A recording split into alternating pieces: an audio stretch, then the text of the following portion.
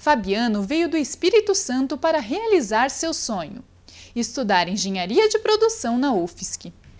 Após ser aprovado, o estudante percebeu que precisava de ajuda. Quando eu entrei na universidade, minhas notas, assim, principalmente nas matérias próprias da engenharia, como física e química, é, física básica eu tirei 2.8 e o cálculo eu tirei 3,5. Falei, nossa, que isso, cara, tem alguma coisa de errado. Assim. E aí eu ouvi falar do apoio pedagógico, assim, fiquei sabendo e logo fui buscar, saber em que poderia me ajudar, comecei a participar das aulas, foi bem interessante. O apoio pedagógico é um programa que oferece aulas de reforço aos alunos da UFSC com dificuldades em assuntos básicos. São oferecidas aulas de Química, Biologia, Física, Matemática, Inglês, Produção Textual e Redação. Os cursos são bimestrais e as inscrições são realizadas sempre no início do semestre letivo, através do site do Apoio Pedagógico.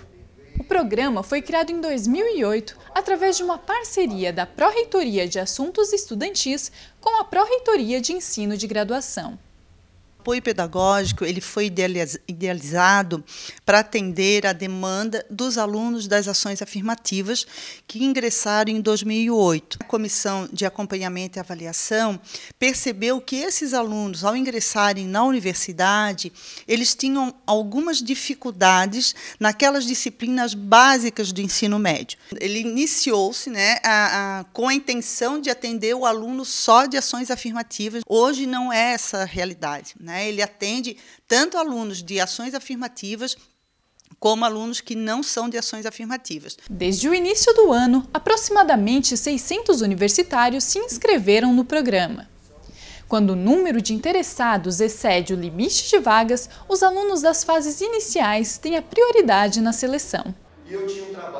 A partir do próximo semestre, serão oferecidas, além das aulas, oficinas sobre temas como oratória e produção de trabalhos acadêmicos, para melhorar o desempenho dos alunos. Eu vejo muita receptividade. Principalmente, a maior receptividade que a gente tem é quando a gente percebe que o aluno está sempre ali que por mais que aquilo que eu esteja falando para ele, de alguma maneira, ele já sabe, mas ele está ali e querendo aprofundar aquilo. A universidade ela tem que buscar dar condições para que esse aluno que ingressa na universidade, principalmente os alunos de ações afirmativas, que ele tenha o apoio necessário para que ele possa avançar, para que ele possa ter sucesso na sua formação. Fabiano avançou e de aluno passou a monitor de uma turma do apoio pedagógico.